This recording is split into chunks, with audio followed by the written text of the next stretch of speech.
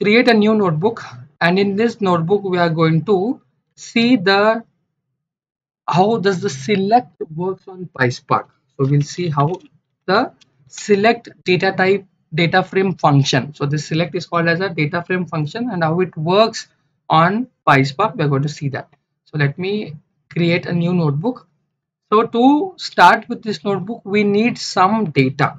So you can create a data frame in two ways. You can create a data frame like spark dot spark dot create data frame data frame. But for this data frame for this code you need to pass on the data by your own. So you need to manipulate or you need to generate your data okay by your own. Or there is one more code. You can use data frame is equal to spark dot read dot a format for example csv json and then pass on the path. But where is the file? So we do not have any file. So when you are using a community edition, Databricks is providing some sample data sets for us for practicing. So let me write a note here by just writing MD. So when you write percent %MD, your cell converts to a markdown. And let me write, so this is about, let me use one or two ash. So just to have a title for this cell, select data frame data frame function okay function we are going to use select data frame function so for that i am pulling out the sample data set. So where is the sample data set? It is in the cloud. So to access that we are using dbutils so this dbutils is a special feature of databricks. So let me show you. You can use percent fsls so I'm listing down all the list down all the file systems which are there inside your DBFS. So when you run percent %fs and ls, yeah, you can see here you got the list of all the parts which you have in your DBFS. So let me show you here. If I go to data view here and if I click on create table and you can go to your DBFS here you can see your file store and the user but when you use percent %fs and ls you're getting four numbers here. Four things here. One is file store which you already have here. One is users. But what about these two? These two are not here. These two are provided by databricks. So we are using databricks datasets for our practice. Okay? So we can upload a data by our own in this DBFS. We will be doing that in our later sessions. But let me show you how to pick the sample data set from the Databricks. So for that, let me copy this path and again write percent %fs ls, give a space and just copy the path of Databricks datasets. Yeah, so these are like 55 datasets what Databricks people are providing. You can click on this and just scroll down and you can see it. So let me take one of the data set of bike sharing. So let me copy this again. Let me copy this and let me paste it inside this like percent FSLS and let me copy paste here. And let me see what is there inside this bike sharing. Yeah, you can see inside their bike sharing you have one file that is data 001 so let me copy this path again and let me see what is there inside that path. Okay? Inside that directory. So if i run this yeah you are getting you have two files here one is bike sharing data 01 this is daywise dot csv this is hour dot csv and you can see the size of the file and you can see when this file has been modified. The timestamp is given here. Yeah i want the path. Okay i want the path.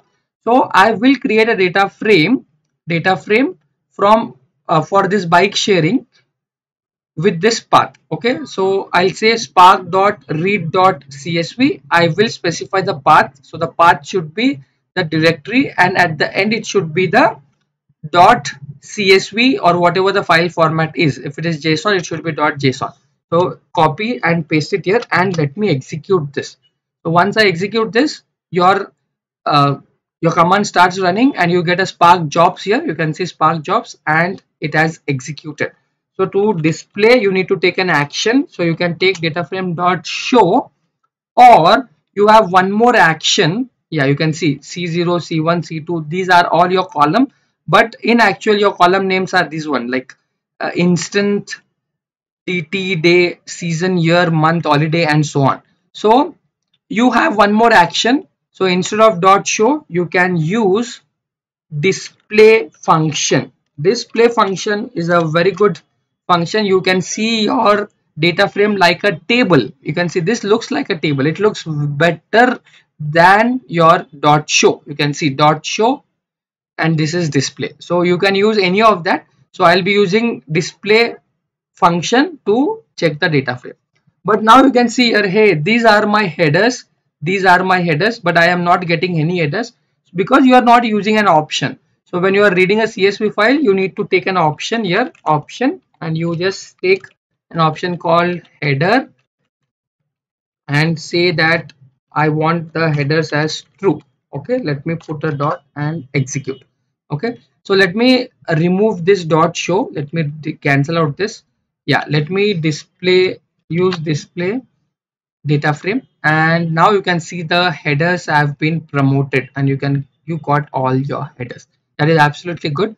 Now if i want to see the hey can you please tell me what are the data types? So for that let me use print schema print schema function and let me see what are the data types so it should be integer it should be a date date integer integer and again and these are a float and so on but but have a look here so if you see in detail, all are showing string, string, string, string, string because when you are creating a data frame out of a CSV file, it will not detect the data types.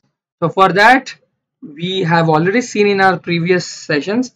So we need to take one more option and we need to say that, hey, can you please infer schema? Okay, infer schema and you pass that, make it to true and let me execute this.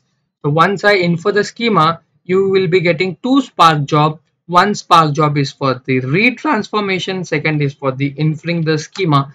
And let me execute this and you check the data types. Okay. So if you are not getting how this code works, don't worry. We will like see in detail once we start reader and writer API, like how to read so what we are doing now is we are looking at the transformations now. We are looking only at the transformation. Okay. So just imagine you have this data frame. Now I want few columns from it. Like I can give you a simple analogy. In SQL, we write select column names from table name. So in PySpark, in PySpark, we say data frame dot select and give a specific column names. So let me give a column name. Suppose instant. Let me put that in a string. Now how i'm writing this? I don't know like how you might be surprised like how i'm writing this. Are you writing in a string or in what ways so i'll run the help on select so how to run help if i run help so if I say select, it will say uh, it is not defined. You will get an error. You can say select is not defined.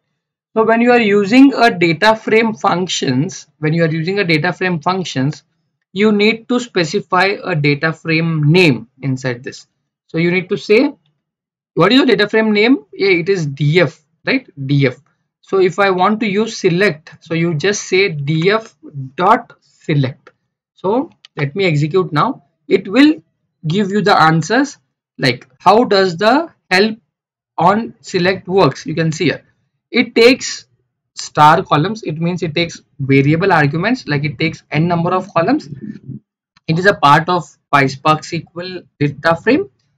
And this is important. Your column can be of string type your column can be of column type your column can be of list type. So what i'm trying to say so let me come here. Yeah. So first let me show you it can be of string type. Yeah obviously it can be a string type like this instance. I want three four columns for example. Then put a comma. Second string can be your d FTE day. Let me copy this and paste it here and put a comma. Let me let me take a third column that may be season. Let me copy this and paste it here. Beautiful. So now let me execute this. So I want to select only three columns from that data frame. It has executed. You can see you got three columns. But where is the result? Where is the output? So no data in PySpark you don't get a result because we know that these are lazily evaluated. So this transformation has done has been done. To get an output we need to invoke an action. So we need to say dot show to get the results. You can see here beautiful one two three columns have been invoked. So you can do in this way or you can do in this way put all that in a function and you just use display here display let me execute this this also works this also works. You can see this. Or you can take a new data frame name. You can take a new data frame name like you can say df1 is equal to and you can call display df1 you can store all this data frame in a new data frame as df1 so you can do any of ways. So just to save some time i'll be using dot show or display. Okay? This looks pretty simple for me. Okay when i'm doing transformation but when i want to finalize the data frame and at that time i'll be using a name data frame one data frame second version and so on now i'm just explaining you so i'll be using dot show okay don't get confused so this is how you can use a string to select the column names. So we are trying to see the number of ways you can use select. We are trying to learn the PySpark syntax guys. So let me show you how you can use the class column. What I mean by class column. So let me copy this all. Let me see the second type. So when you are working on a real time in project, some might use string type, some might use a column type so what does a column type mean? So you can use a col function here and specify like this. Now you might be wondering like, hey, even though we can do it by string type, then why are you going with the column type? I will explain you guys, don't worry. I You'll understand clearly why we need this col type. So if I execute this, you will get an error saying that col is not defined because col is a function so I need to import col so from PySpark dot SQL dot functions functions import col function. Let me execute this. And now let me execute this. You can see beautiful. So I have used two ways. This is using a col function. This is using a col function. This is just using a string. It works. It works. So let me show you another way. So just we are trying to learn different syntax in PySpark. So instead of col if I use this way. For example data frame dot dot instant. Okay let me see the column name. Yeah it is instant. So I am using data frame dot column name. This is a column type. This is also a column type. This is a string type. If i execute this yeah this also works. You can see this also works. Now you might be wondering like why there are so many ways?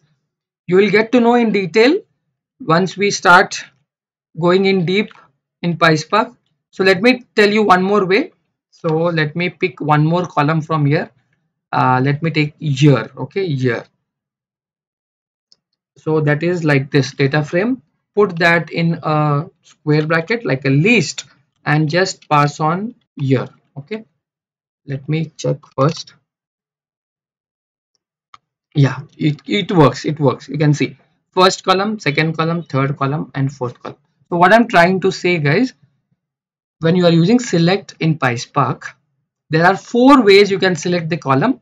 You can select column in this way this way this way or this way. Okay? So these four are column type and this is your string type.